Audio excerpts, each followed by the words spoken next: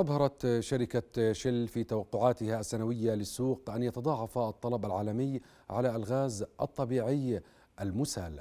وبحسب تقريرها السنوي فقد توقعت أن يرتفع حجم الطلب العالمي على الغاز الطبيعي المسال إلى 700 مليون طن بحلول عام 2040 مع استمرار قيام الغاز بدور مهم في منظومة الطاقة منخفضة الكربون.